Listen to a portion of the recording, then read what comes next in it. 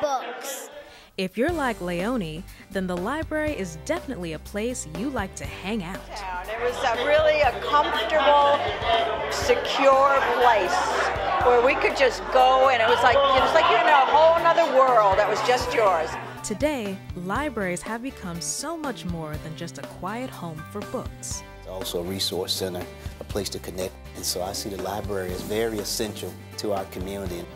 The Scott Candler Library has been one such resource to its community and recently celebrated its fourth anniversary with DeKalb residents and some of its smaller library patrons who told us why they love Scott Candler Library so much.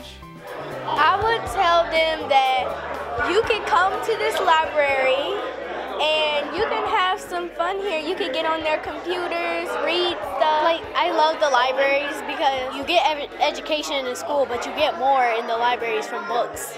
And I think today it's more important than the old days because there are more libraries. There, there are more there are more libraries and books that kids can enjoy.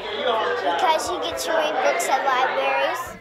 With all of those reasons, it's no wonder Scott Candler Library has been an essential asset to its community.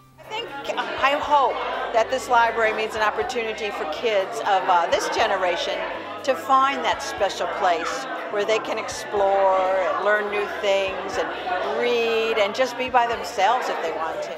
We're sure that the Scott Candler Library will live up to that expectation and so much more as it continues to be an outstanding resource to DeKalb County residents.